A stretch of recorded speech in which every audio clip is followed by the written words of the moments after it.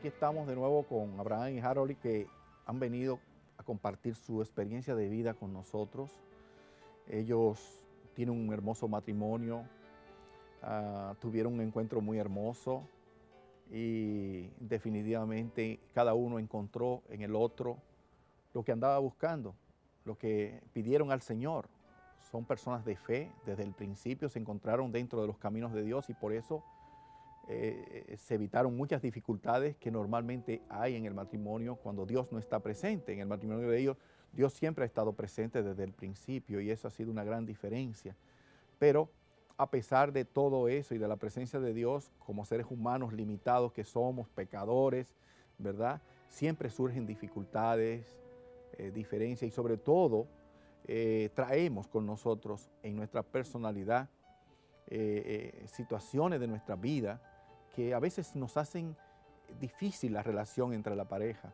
Y, Dios tiene que actuar ahí, pero que es, por eso es que Dios es indispensable, porque Dios es el único que puede cambiar esas áreas de mi vida que no me dejan ser el esposo que yo quisiera ser para ella. A veces, no porque yo no quiera, yo quiero ser, pero no puedo ser porque esas miserias mías, esas limitaciones mías me lo impiden. Y ahí es donde Dios hace el trabajo más, más importante dentro del matrimonio, en capacitarnos, en sanarnos. A veces traemos heridas del pasado, de nuestras vidas. Y aunque estamos en los caminos de Dios, está ahí ese recuerdo, esa herida.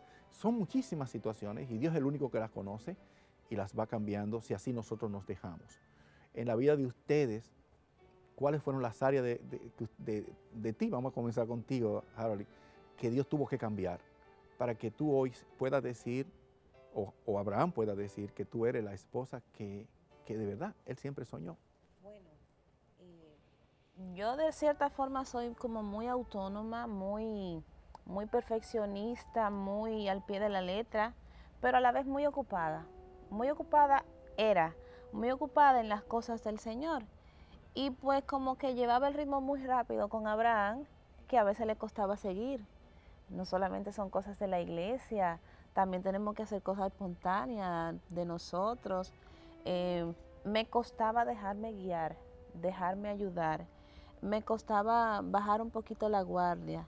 Me costaba quizás reconocerme más humana. Mm.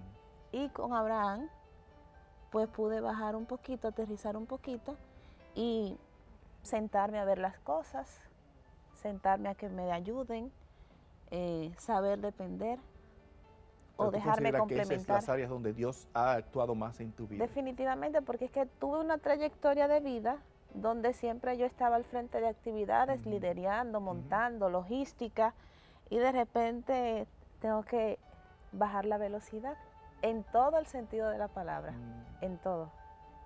Qué bonito. Y en el caso tuyo, Abraham. Yo podría decir que el Señor me ha hecho más tolerante. Eh, por ejemplo, muchas veces, por ejemplo, Harold y siempre, como ella decía, está en muchas actividades. Eh, yo le decía que ella asumía más el compromiso de lo que podía llevar. Y, ejemplo, incluso a veces en la misma comunidad eh, terminaban las actividades y Harold se quedaba arreglando el más mínimo detalle. y yo tenía que esperarla. Yo decía, pero Dios mío. Pero aprendí a, esperarla tranquila. O sea, tú ah. entiendes que el área donde Dios trabajó más contigo fue en la paciencia. La paciencia, sí, la paciencia. la comprensión. sí, yo decía, la comprensión. Ya yo sabía que cuando había una actividad yo era el último que me iba, porque ella iba a organizar todo, a cerrar, iba a cerrar todo. Y decía, bueno, y yo realmente acostumbraba, terminó una actividad, bueno, ya me voy para mi casa.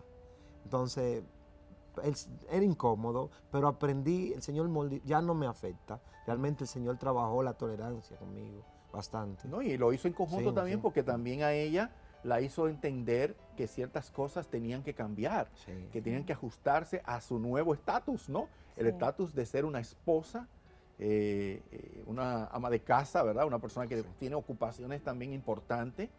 Yo pienso que el ministerio del hogar es un ministerio importante y lo que hemos sido llamados a ese ministerio de la familia no es menos importante que ninguna otra cosa. O sea, yo pienso que lo más importante es el ministerio de la familia. El ser una buena esposa, un buen esposo, el cuidar sus hijos, el cuidar su hogar. Para mí eso está primero y no para mí. Dios lo pone como primera cosa. Eh, lo demás tiene que partir de un buen hogar, Y si no tenemos un buen hogar cuidado y respetado, no vamos a poder ejercer ningún otro ministerio bien. Porque no vamos a dar un buen testimonio, ¿verdad? De nada sirve nosotros andar sirviendo de iglesia en iglesia y de parroquia en parroquia, ¿verdad? Eh, y de capilla en capilla, si todo el mundo sabe que yo en casa no soy una buena esposa o un buen esposo. Si o yo no, estoy. ¿eh? O no estoy. O no estoy nunca y allí eso no existe. O sea, ahí es una casa vacía, porque cada uno de los dos andan sirviendo por un lado, entonces realmente no hay una familia allí. ¿Y qué va a pasar cuando no vengan los hijos? ¿A dónde se van a, formar? Entonces, no, eso es un error que a veces se comete y, que no debe ser. Dios no está de acuerdo con eso, porque cuando Dios quiere que tú te dediques a tiempo completo, Él entonces no te llama a, la familia, a, formar familia. Y ahí entonces tenemos a los sacerdotes, a las religiosas, ¿verdad? Que ya entonces hacen una vocación distinta, porque tiene la vocación de formar familia, tiene que entender que va a tener que, como dice la palabra de Dios, poner todas las cosas en su tiempo. Hay tiempo para la familia, hay tiempo para Dios, hay tiempo para, para pasarla bien juntos como pareja, ¿verdad que sí? Disfrutar lo ordinario como algo extraordinario. Exactamente, esa, es la palabra, esa es la palabra. Ustedes que han vivido un matrimonio y están viviendo un matrimonio dentro del proyecto de Dios, eh, ustedes entienden que la, la situación actual que están viviendo los matrimonios de hoy con tantos conflictos, ustedes entienden que esto se debe, ustedes que parten de un matrimonio donde Dios está presente, ustedes entienden que la ausencia de Dios es lo que está creando todas estas dificultades. Sí, definitivamente. ¿Ustedes trabajan ahora mismo en algún ministerio de matrimonio? Sí, sí. Tenemos una comunidad que gracias a Dios, a, a medida que fuimos aplazando otras responsabilidades, pues se nos encomendó guiar la comunidad de pareja de nuestra parroquia y trabajamos con diferentes tipos de parejas, casadas, unión libre, casadas por lo civil, aspirantes a casarse por la iglesia, matrimonios de la iglesia, y pueden llegar algunos que quizá estén en situación de separación. Y realmente no dejar actuar a Dios en la vida de pareja es trascendental. Sí, definitivamente. Y por ejemplo, si ahora ustedes que trabajan con matrimonios, ustedes tendrían, tuvieran que darle un consejo de lo que ustedes dan dentro de esas actividades de matrimonio que ustedes tienen eh, a los hombres, y sobre todo en el caso tuyo, Abraham, de hombres que en este momento no entienden lo que es el matrimonio, lo que es la posición del esposo como cabeza del hogar, el que debe dar el ejemplo sobre todas las cosas, eh, y que pretende vivir una vida como si no estuviera casado y, está creando cierta dificultad. Eh, desde tu posición y de la experiencia de ustedes trabajando con matrimonio, ¿cuál sería un buen consejo que tú le darías a estos hombres que ahora no entienden lo que significa un matrimonio? Yo podría decirle que tienen que saber que tienen que amar a su esposa, tienen que amar ese ser que Dios les regaló y cuidar los detalles con ella. Es decir, tener pendiente, querer su, amar, amar a su esposa, tener, ser detallista, amoroso, estar pendiente de las cosas que a ella le agradan y las que no le agradan. Eh, creo que debería, eh, lo principal es ser amoroso con ella. ¿Y crees tú que se puede ser muy amoroso si Dios no nos capacita para eso? No, no es posible. La fuente es el Señor porque Él es el amor. Dios es amor como dice la Biblia lo dice. Así, exactamente. claro. Y en el caso tuyo, Harold, ¿qué tú le dirías a las esposas? Hay esposas que están viendo este programa que dirían, oye, pero ¿por qué yo no me casé con un hombre de Dios, un hombre que como Abraham, pues ya conocía al Señor, ya este hombre nunca se va de parranda, nunca anda borracho. Eh, cuando hay una dificultad como la que hubo, se sabe poner de acuerdo conmigo y, y si no no entendemos, buscamos de Dios y nos vamos a la oración y juntos conseguimos encontrar la respuesta. Pero sin embargo, yo lo que tengo, dirá la señora, es un hombre que no entiende lo que se va de parranda por ahí o anda por allá y si no, pues, a lo mejor no anda en parranda, pero se va con sus amigos y nos tiene a todos abandonados aquí. Realmente, dirá ella, no vale la pena un matrimonio así y está pensando ahora mismo que, que no vale la pena continuar porque ya está cansada de tantas situaciones difíciles y ella no se casó para eso. ¿Qué tú le dirías a esa persona? Lo primero es que nosotras como mujeres a veces buscamos la perfección y sería muy importante desapegarnos, desapegarse de esa eh, perfección y evitar la explosión.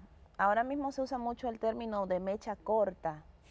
Y mi querido Abraham, descubrí que en el noviazgo me definía como una persona de enojos cortos. Y si soy de enojos cortos o, breves, me va a permitir no explotar, porque sucede que para discutir se necesitan dos, personas. Entonces puedo guardar mi enojo, pero dentro del enojo puedo orar o simplemente cultivar la tolerancia. Si cultivamos la tolerancia, eso se multiplica y se refleja en la vida de pareja, pero sin dejar de orar, porque en un momento mi esposo puede estar cegado y quizás que tenga un poquito de luz sea yo o un poquito de, de espacio para orar por él. Y el Señor se encarga y lo ha manifestado en nosotros y en muchas vidas de pareja. Él se encarga de moldear y, y apaciguar todo. Tolerancia, amor, recordar el inicio, siempre se lo digo a las parejas, recordar lo que llevó a que esta historia se iniciara, porque algo de, esa historia, de ese inicio queda. ¿Verdad que sí? Eso es muy importante. Yo siempre recuerdo eso, las personas.